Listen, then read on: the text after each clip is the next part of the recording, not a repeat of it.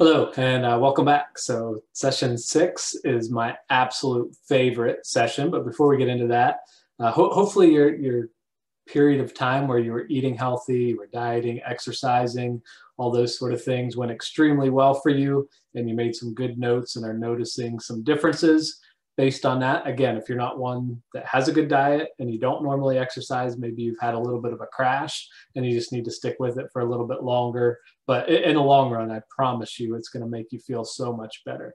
So, session six, th- th- this is my absolute favorite.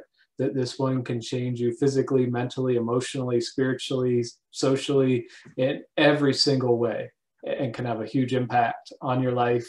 And I think can make a tremendous difference in helping you in your recovery. Okay, so, so we're, we're going to get right in to the skill, which is going to be something called a spiritual discipline.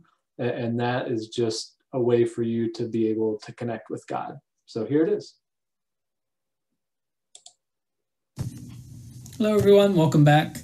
Hope the diet and exercise was a positive experience. Like I said, some, sometimes when you do things that your body's not used to and you start to make adjustments and changes, it'll fight back. So there, there's a, there's a good chance you did great with your diet and exercise this week and felt a little worse. But looking at the long run and the end goal, keep keep it up. Um, you, you'll get to the point where it'll be super helpful. Um, so this week we've either talked about or going to talk about spiritual disciplines, and uh, you know just having an important spiritual life. Um, you know the wellness chain incorporates your physical, emotional, mental, and spiritual well being, and they all interact with one another. You know, I was 17 when I came into a personal relationship with Christ. Um, it was the best decision I've ever made. You know, it, growing up, I felt like I had to work my way to heaven and then realized, hey, I'm not a perfect person. Heaven's a perfect place. I certainly don't deserve to go there. And knew that God sent his son Jesus to die on a cross for my sins. And, you know, when I used to feel like I just need to be a good enough person and God will let me into heaven, I realize now that I was saying, you know, Jesus really died for nothing. Like, he didn't need to die on a cross because I, I don't need that. Like, I can just be a good enough person. But now I realize, like, every, everything is based on what he did for me. So someday when I die, if God says, Mike, why should I let you in here? I'm not going to say, you know, I've helped people with anxiety. Uh, you know, I've done people's funerals as a pastor in a church. I've done a lot of counseling to help people because what I'm saying is, God, you have to let me in. I deserve it. You know, it's going to be quite the opposite. I'm going to say, you know what, I, I don't deserve it. I wasn't perfect. I made mistakes. But when I was 17, I made a decision to ask you into my heart to forgive me of my sins. I started a relationship with you. The Bible promises me that because of that, I get to spend eternity with you. And that, that's been so healthy for my anxiety because I know I don't have to work my way to heaven. Um, and anyways, you, know, hopefully you come to that decision in your life. Um, it, has been so important to me. But if not, uh, you know, we're all at different places on that journey. You know, j- just really at some point in your life focus on that spirituality part of your wellness chain. And, you know, the skill this week is what's called a spiritual discipline. And, you know, there, there's a list in the guide of different things you can do. Um, but so, so you're going to take one of those and just spend 10 minutes a day on it. And, you know, one of the ones I would encourage you would be the prayer. And one of the things that I think we don't do with prayer enough is to listen. So we go to God and we, and we say, you know, he, here's all the things that I want. Please help me with. Um, let, let me pray for these people about this. We say amen and we walk away and that's it. But with prayer, I, I want you to, you know, if you're going to do 10 minutes, pray for five. You, you know, ask for forgiveness if you need to. Thank God for the blessings that you have. Um, and then the last five, just sit there in silence and just ask the question God, is there anything you want to say to me? Is there anything you want me to know? Pull out a Bible, find a favorite verse, um, and, and, just concentrate on that and meditate on that. And uh, just let it be a quiet time, a peaceful time, and let these spiritual disciplines like God allow Him to come speak into your life. So if you have any questions, need any help, you know how to reach out to me. Um, but can't wait to see what, what God's going to do with this. And we'll talk more next week. So, you know, I know some of you I'm talking to can really relate to what was said in that video. Some of you, all of us are in a different place on our spiritual journey. Uh, but, you know, as some of you know, uh, you know, my, my background, I have a master's in counseling. I also have a master's of divinity. So, so I went to seminary, studied the Bible, and have been a pastor in large churches. And, uh, you know, one, th- one thing I know for sure, beyond a doubt, is that I can promise you is God created you for a purpose and God loves you. Um, he, he, he loves you more than you could ever imagine. And, you know, in the midst of your anxiety, in the midst of your depression, he's there. He's beside you. He's walking with you through this.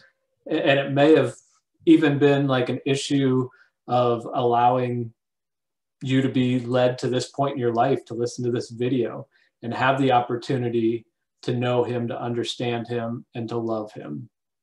Um, so, so Karl Barth was one of the top theologians back in the 50s and 60s and wrote tremendous like knowledge on Christianity and the Bible and all about God. And he, he was speaking at a college.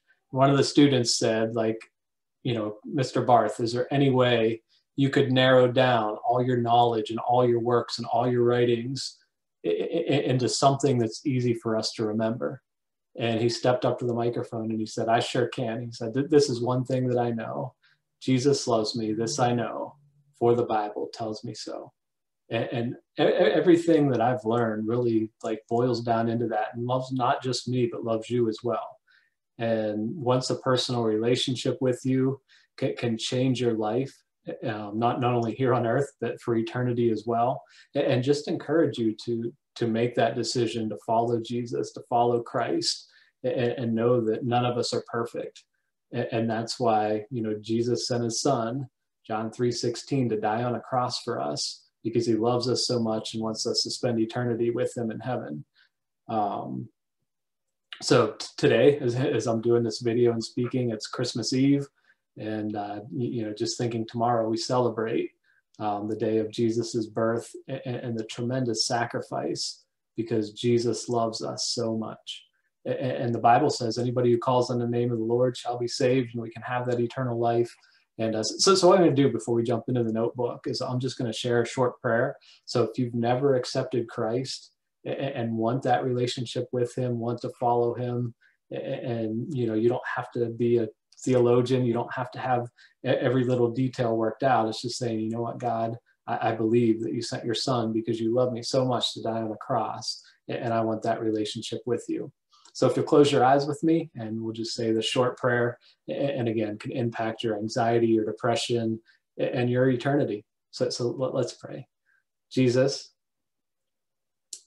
I believe that you sent your son Jesus to die on a cross for me.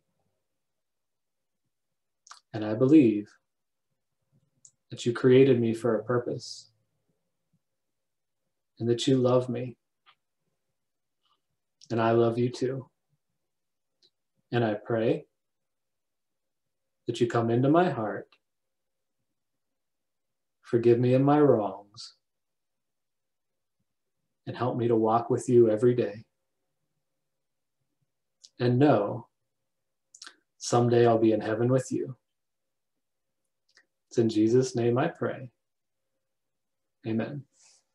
So that's awesome. If any of you prayed that prayer for the first time, you know, th- th- this is one of the exciting things and one of the purposes also of doing this program. Now, now as a Christian counselor, you, you know, the, there's two different sides that people can go down. You know, some people feel like hey, you know what, if you're, you're anxious, you're depressed, just pray a little harder and it'll go away. Eh, but, you know, as a counselor, like I know it's, it's chemical imbalances. So you're not going to say to somebody with acid reflux, just go pray a little harder. Your acid reflux is going to go away. You know, there's certain things you need to do to balance those chemicals out.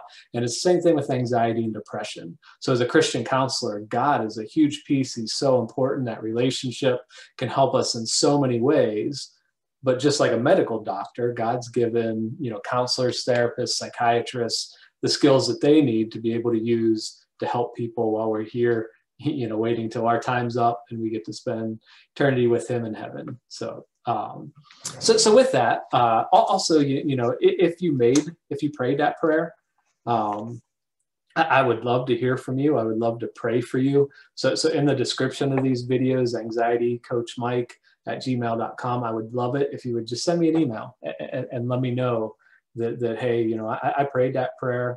Let me, let me know how the program's helping you. I'll also go onto the Facebook group page and, and would love to hear um, all about, you know, how the program's helping and what it's doing for you.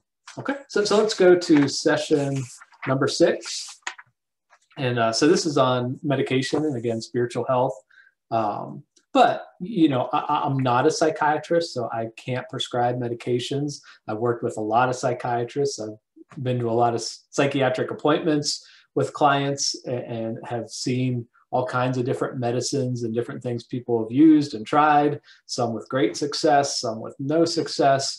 Um, so, so, so what, what, what, a lot of the medication part of this is, is just to serve as a guide. So, so if you go to a psychiatrist or you talk to your family doctor and consider medication, that, that at least you have a little bit of knowledge. It can go in there, you know, not not totally clueless and and maybe understand a little bit about what they may prescribe or talk to you about. Um, again, I, I've never taken medication. I think in my story, I, I took one pill one time and horrible side effects and threw it in the trash. Um, so so you know the skills that i'm teaching you and that we're learning like for me that's what i needed you know for other people everybody's different so so i've seen people have tremendous success on the medication with the therapy um, and that that that may be you. And again just like everything else feel free to try things and see what works specifically for you. All right so point number one is for some people medication is necessary. So you, you know, you, you got chemicals all completely out of whack in your brain. So I've definitely met people that had horrible depression or horrible anxiety, and, and they literally could not even focus. You know, I, I, would say a sentence if I told them, "Hey, repeat what I just said." They, they couldn't do it.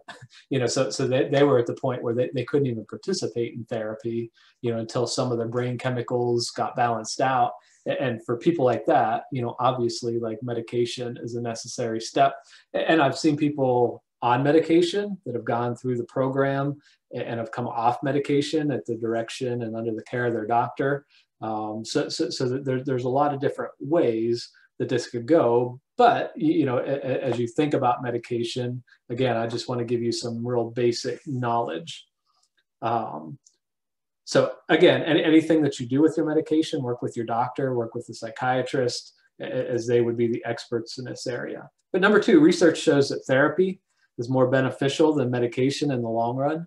So, so you know, as people are giving kind of their review of how much the medication is helping them and their views of how much therapy is helping them, therapy actually outranks medication. Um, so, so take the skills that you're learning, seriously, like use them and uh, practice them even when you're feeling good. You know, so, so, so if I was, somebody pointed a gun at me, I'm probably not going to react as well as a police officer because they're practicing, you know, what, what, what to do in that situation where I'm not. So, so if you're practicing the skills when, when a big stressor happens or something comes up, and, and, you use a breathing technique or a muscle relaxation technique or mindfulness, like your body's going to respond to it so much quicker because you've been practicing it. Uh, more people give up on medication than therapy. Uh, just a statistic, you know, a lot of people just feel like it would be so nice if I could just take a pill and all this would go away. And in general, that just doesn't happen.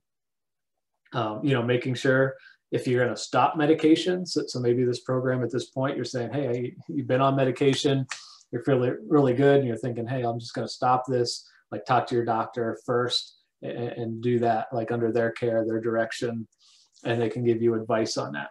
And, and I will say, you know, I, I would encourage your doctor to allow you to come off super slowly. You know, so so so I always say, hey, let's set a six month goal. So let, let's say you're on 10 milligrams of something, you know, cutting it down to maybe eight milligrams for a couple weeks, and then going down to six for a couple weeks, and, and just do a real slow process.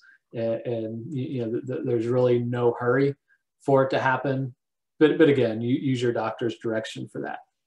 Uh, so you can see number three, uh, there's different types of medication for depression. Um, so 25, 30 years ago, if you went to a doctor, you know, said, can you give me a medication for depression? They had about 15 different choices. All right, so, so today there's over 100 different medications that the doctor could potentially just prescribe for your depression. I, have had uh, clients I've worked with go, now they even have like DNA type swab tests where they took a swab of their mouth and it matches up like what medications are most likely to have the biggest benefit for them. Um, but looking at that chart, so SSRIs, um, th- they seem to be like the, the starting point. It targets the serotonin in your brain. They have the smallest amount of side effects. It helps you like participate in therapy, doesn't hinder that. Um, so medicines like Celexa, Lexapro, Paxil, Zoloft, um, and, and, people, the majority of people tend to do well on those, and that that's kind of a, a good like stopping point too. So they don't need to keep increasing things, changing things, um, and uh, so, so the SSRI. Now, if the SSRI doesn't work, normally doctors will kind of go down the list. So if you look at the next step, SNRI, so it targets both serotonin and norepinephrine. So Effexor, Pristiq, Cymbalta. Um, now, again, so, some of these are helping many people, giving them their lives back, but, but it's one of those things normally as you go down this list, there's more side effects attached to it. And again, everybody's body is different. So, so somebody may have a side effect with the SSRI that they don't with the SNRI. So, so again, it's just a generalization. You know, so the atypical, tricyclic, MAOIs, again, as you're going down that list, you know, the, the medications are targeting more things in your brain, which is more likely to produce more side effects. Um, so number four, there's different types of medication for anxiety. So because anxiety and depression are so closely related and the chemical imbalances in your brain, that any of the depression meds could also be prescribed for anxiety. So there's over 100 different anxiety meds. Um, one of the things that they add into that is the benzodiazepines. They just call them benzos. So they're like the Valiums, the Xanax. And so I, I will say, like, when, when I first went for an MRI and, and they wanted to scan my brain, um, like the first time I went, I completely like panicked. they put me in the tube and I was like, get me out of here. Like, you know, no, no, get, get me out, get me out. So they got me out and uh, the doctor gave me a Valium um, and, and, I didn't know what I was taking, but I, I knew I took it and, and, I got the MRI done. And I was just at like in La La Land. I was at peace. I felt good. And afterwards, I remember going home. And this was after probably two month and a half, two months of feeling absolutely horrible with anxiety and panic. And, for the first time, like I, I felt good. I felt great. And I remember going to my mom and saying, like, I, I don't know what I took before that MRI, but like problem solved like you know th- th- this is great so so I, you know i remember talking to the doctor and the doctor's like yeah you, you can't take these long term you know so, so you're on 10 milligrams now which made you feel great and it wasn't 10 like the benzos are real small so it's like one milligram.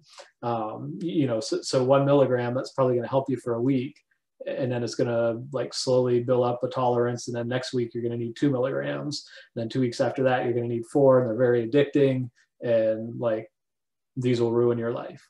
So so so it, it, was one of those things where it makes you feel good but it, it's just not a long-term solution. Um, and, and, honestly like i'm glad i had to go through these skills and learn these things and didn't rely on just a medication um, so buspirone buspar is, is, another common medication just for anxiety um, and, and, again a lot of these are just uh, a guide uh, for you to be aware. So, so number five, stop your nicotine and alcohol intake. Again, these have a tremendous impact um, on you and your anxiety and depression. And again, phase those things out and just see the difference it makes. You know, initially it may make you feel better as you get a cigarette, you know, or, you know, a- as you drink, but, you know, in the long term, it, it, it hurts you and only feeds into your anxiety and depression. So other drugs, um, you know, the, the Z drugs are like sleep meds, and they can have an impact on your anxiety and depression. So, so you want to be careful with those, use them sparingly. The CBTI that we talked about last time, you know, that, that is a much healthier way to go about it and, give that a shot. So you can see the effects on therapy. Um, so, so most of those like can be helpful, you know, a, a, as you go through therapy and make you be able to focus a little bit more. You, you know, again, as you go down and the benzos and, you know, just put you in la la land, um, you, you, know, doesn't help. You know, I, I've worked with people on medical marijuana that has was making them feel pretty good, but you know, it, it just makes it harder for them to really like use the skills, learn the skills, which is a much healthier route for them. All right. Also, the research at the bottom of page 19 on the different classes of medications. Um, so, you know, if, if you have a phobia, like therapy is going to be the way to go with, with that. Like medication is isn't going to help you a whole lot with that. And, you know, the panic disorder, you know, a lot of you are here most likely because of generalized anxiety disorder. You know, so, so when I work with clients with anxiety, I would say eight to nine out of every 10 of them like get classified as generalized anxiety disorder.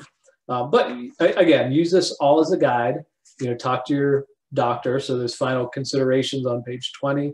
This is just for your reference, you know, to, to give you a little bit of knowledge, but always talk to your doctor about these things. Um, so the benzos and the Z drugs will have the immediate effect. Again, the, the Valium was the benzo that, you know, half hour after I took it, I was feeling great. Um, but you know that that's not a long-term solution, and it's not a healthy way to go. Um, all the other medications, so you know if the doctor would put you on Zoloft or uh, some type of medication, it, it takes a good three weeks before you like really know what's going to happen. So you may take it for a week and say, you know, th- this really isn't helping, and like I'm, I'm not going to do this anymore. But, but if you really want to see if there's going to be a benefit, you know, it, it would be a good three weeks. So side effects that start at the beginning, a lot of times will go away, you, you know, a- after those three weeks. So, you know, again, j- just things to talk to your doctor about and keep in mind that, you know, just because you took something for three days and now you're having trouble sleeping or you're getting a headache and those sort of things, that it doesn't necessarily mean that that's going to be long term. All right. And then number six, uh, find a spiritual discipline that works for you. Um, so there's great volumes and books out there on the different spiritual disciplines. I just added a few in here. So meditation and picking a, a scripture or a Bible verse and focusing on it. You know, prayer, fasting, reading the Bible, worship. So you know, singing hymns, singing worship songs, confession. I remember in seminary, I did a thing where I, I wrote out everything that I could remember in my entire life that I had done wrong and I probably spent I'm going to say five hours, six hours, like just in, with a tablet, you know, starting like, okay, let, let, me think back to the first time I didn't listen to my mom or dad or, or something that I did. And think about first grade, think about second grade. And I had a good, I, I had a lot of pages filled up and things that I'd done in my life and had another student that was willing to just listen to me like confess all these things and just tell them get it off my chest. And it was a very freeing thing to just get it all out there and hey i'm not perfect. And just for that other student to support me and encourage me and remind me that despite all those things god still loved me um, so, so you can see the benefits of doing a spiritual discipline um, th- there's also some great verses there. So if you're looking for a verse to look at, you know, you know we, we talked in one of the sessions about our thoughts and, and that the Bible's full of things about the things that we think about and the things on our mind. So, so there's lots of Bible verses there uh, for you to go to that may be helpful. Um, but, but I think a great starting point for the spiritual disciplines, as I discussed uh, in, the skill, is to just have some silence. So, so, do some prayer and then just listen to God. And you can see uh, it says, God, what are some things you want me to know about? And then there's a blank. So you might put my anxiety, my depression. So, so just find a quiet place, you know, grab a Bible if you want, and just talk to God and say, God, what are some things you want me to know about my anxiety?